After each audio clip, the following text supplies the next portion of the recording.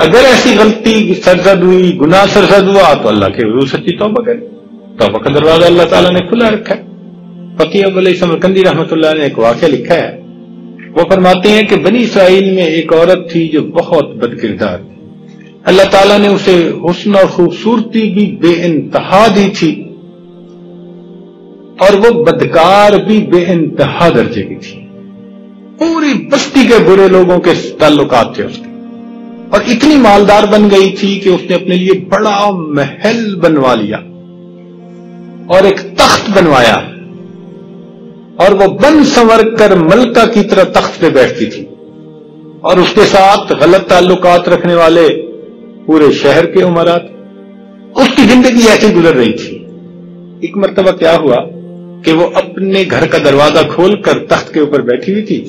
قریب کسی اور بستی کا ایک نوجوان تھا جو نیک تھا، عبادت گزار تھا، وہ ادھر سے گزرا قدرت گلی سے۔ اور گزرتے ہوئے اچانک اس کی جو نظر اٹھی، تو اس عورت پر جا کر۔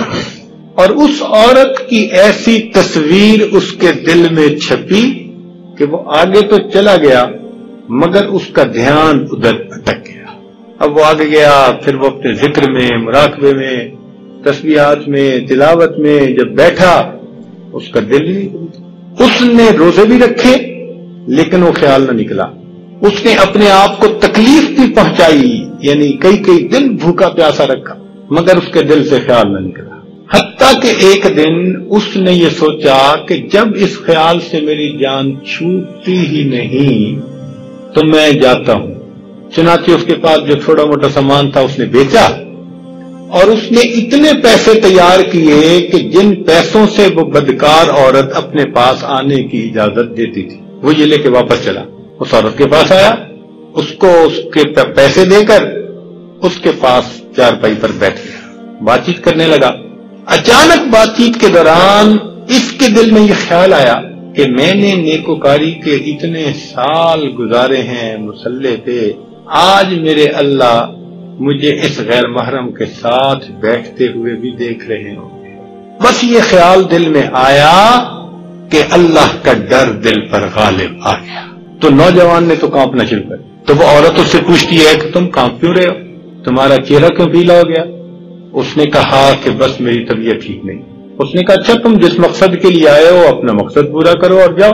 اس نے کہا، نہیں، وہ بڑی حیران ہوئی۔ کہ آج تک میں نے اپنی زندگی میں کوئی ایسا مرد نہ دیکھا جو میرے قریب اس طرح چارپائی پر آ کر بیٹھے اور پھر برائی کیے بغیر واپس چلا جائے۔ یہ نوجوان کیسا ہے؟ مگر نوجوان نے کہا کہ اچھا میں جاتا ہوں۔ اس نے کہا، تم کون ہو؟ کیا ہو؟ اس نے بتایا، میں اس نام کا بندہ ہوں، فلاں بستی کا ہوں۔ اور میرے دل میں یہ خیال آ رہا ہے کہ میں نے اتنی عمر مسلح پہ بیٹھ کے گزار دی۔ آج میرا اللہ مجھے تیرے ساتھ بیٹھے ہوئے بھی تو دیکھ رہا بس اس کے بعد اس نوجوان کی آنکھوں میں آنسو، تو وہ چل پڑا وہاں سے۔ اب وہ چلا، تو وہ اس عورت کو جو تھوڑی دیر کی صحبت نوجوان کی نصیب ہو گئی، وہ جو پاس بیٹھنے کی صحبت تھی، اس کی بھی برکت اس کو مل گئی۔ تو عورت کے دل میں خیال گیا کہ یہ کمارا نوجوان اتنا اللہ سے ڈرنے والا، جبکہ اس نے کوئی گناہ بھی نہیں کیا۔ اور میں تو سارے دن اور رات گناہوں کی مرتکب ہونے والی میں خدا سے ڈرتی ہی نہیں۔ لو جی اس کے دل میں نہ شرمندگی پیدا ہوئی ندام آنے اس نے سوچا، میں کروں تو کیا کروں؟ دل میں خیال آیا کہ اچھا چلتی ہوں۔ حضرت موس علیہ السلاط اسلام سے جا کے پوچھتی ہوں کہ کیا میرے لیے بھی توبہ کی کوئی صورت بنتی ہے؟ لو جی وہ نکل کھڑی ہوئی اپنے گھر سے۔ اب اس کو تو بستی کا ایک ایک بندہ پہچانتا تھا۔ وہ ایسی نامی گرامی چیز تھی۔ وہ چلی اور جا کر اس نے حضرت موسا علیہ السلاط کو جو دیکھا تو وہ بنی اسرائیل کے لوگوں کو اس وقت نصیحت پر مارے تو اس نے کسی آدمی کو پیغام بھیجا کہ حضرت موسا علیہ السلاط والسلام سے جا کے کہو کہ میں ان سے ملنا چاہتی ہوں۔ اب وہ جس کو پیغام دیا وہ کوئی بے وقوف تھا۔ کچھ پیغام پہنچانے والے بھی تو بے وقوف ہوتے ہیں نا جو جن کو ڈھنگ ہی نہیں آتا پیغام پہنچانے کا۔ اس خدا کے بندے نے سیدھا جا کر ساری پبلک کے سامنے حضرت علیہ السلام جی حضرت وہ آپ سے فلاں ملنے آئی ہے۔ حضرت علیہ السلام نے جو نام سنا تو آپ کو تو بڑا جلال آیا کہ لوگ کیا سوچتے ہوں گے کہ ایسی عورت ان سے ملنے آئی۔ ان کا کیا تعلق اس سے؟ تو حضرت موسیٰ علیہ السلام نے غصے میں کہہ دیا کہ اس سے کو چلی جائے، میں اس سے نہیں ملنا چاہتا۔ وہ بیوقوف جو تھا میرے جیسا، اس نے آ کے کہا جی ہاں، میں نے بات کہی تھی کہ حضرت موسیٰ علیہ السلام تو بڑے ناراض ہوئے ہیں اور وہ تو بڑے خفا ہیں تجھ سے۔ لو جی وہ ڈر گئے۔ اس نے کہا کہ میرے بدکاریاں ایسی کہ اللہ مجھ سے پہلے ناراض تھا اور اب اللہ کا نبی بھی مجھ سے بات نہیں کرنا چاہتا۔ میرے لیے تو اب دنیا میں کوئی ٹھکانا نہیں۔ بڑے اداس وہ جل قدموں کے ساتھ وہ وہاں سے واپس آئی۔ اب اسے سمجھ میں نہیں آتی تھی کہ وہ کیا کہ اب وہ حیران تھی کہ اللہ کے نبی نے بھی میرے ساتھ بات کرنی گوارا نہ کی۔ میں اتنی بھی تو گری ہوئی چیز ہوں نا کہ وہ بات کرنا بھی نہیں چاہتے میرے ساتھ۔ چنانچہ وہ گھر آئی اور اس نے گھر کی کنڈی لگائی۔ کسی اپنے بڑے سے اس نے سنا ہوا تھا کہ جب بندہ اپنے رب کو منانا چاہے تو اس کو چاہیے کہ اس کے سامنے سجدہ کرے۔ چنانچہ اور تو اسے کوئی طریقہ آتا نہیں تھا۔ گھر کی کنڈی لگا کے ایک جگہ پر اس نے اللہ کے سامنے سجدہ کیا۔ دل سے یہ کہہ رہی ہوگی، میں تیرے سامنے جھک رہی ہوں، خدا۔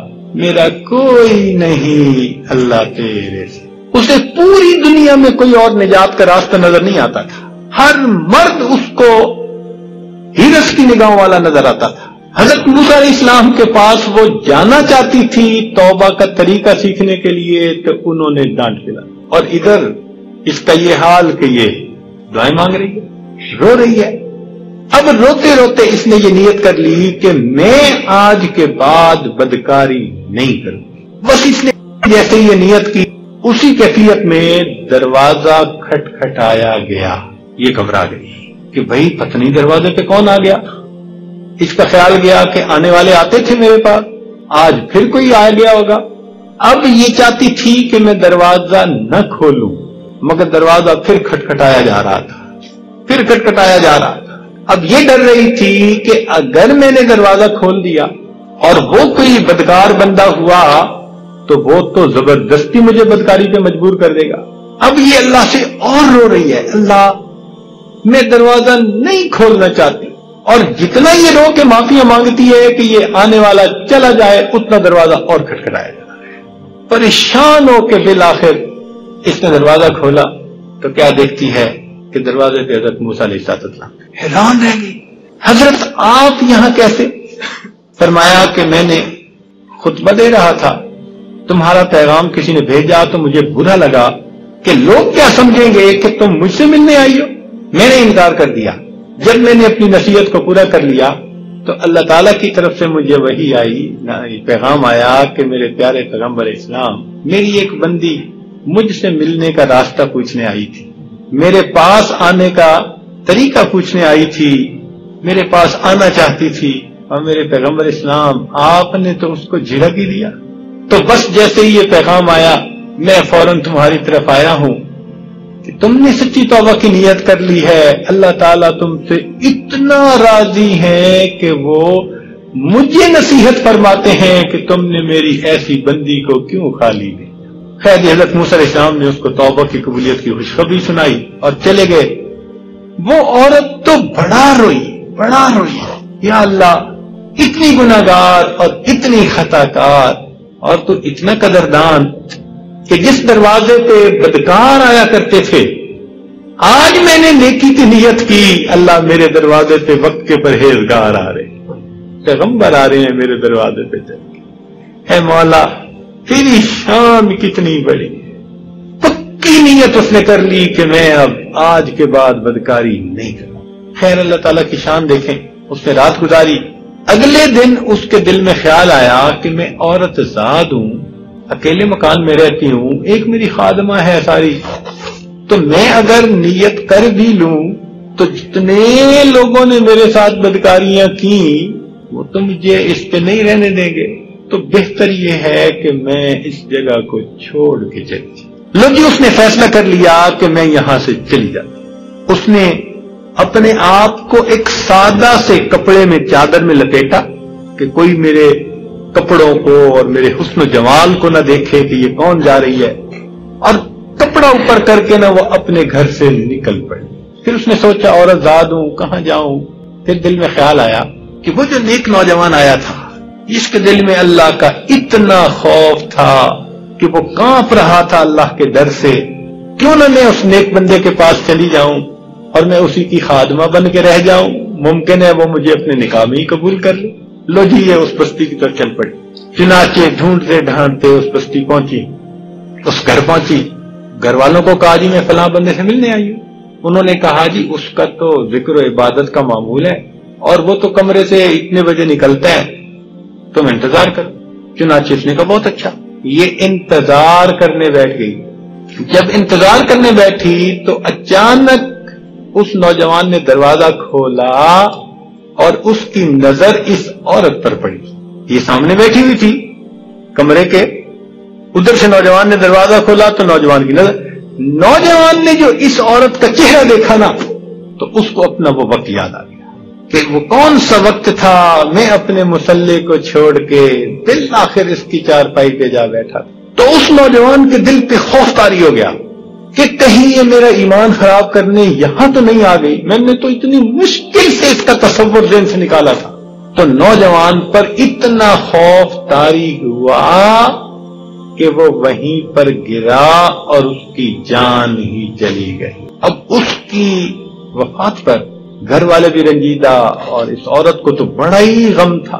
خیر، جب تین دن گزرے تو اس عورت نے ان کے گھر والوں کو بتایا کہ بھائی، میں تو اس نیت سے آئی تھی، بری عورت تھی، نیک بن کر کے۔ تو انہوں نے کہا کہ وہ تو اب دنیا سے چلا گیا، اس کا ایک بھائی ہے۔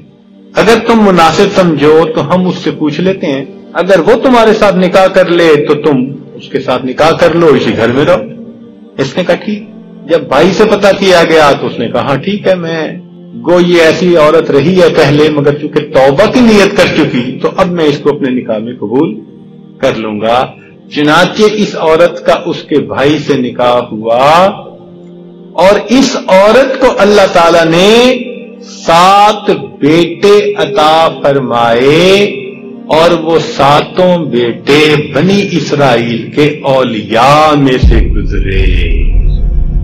ایسی بدکار عورت بھی اگر توبہ کرتی ہے، اللہ تعالیٰ اسے سات ولیوں کی ماں بنا دے۔ وہ مولا کتنا قریب۔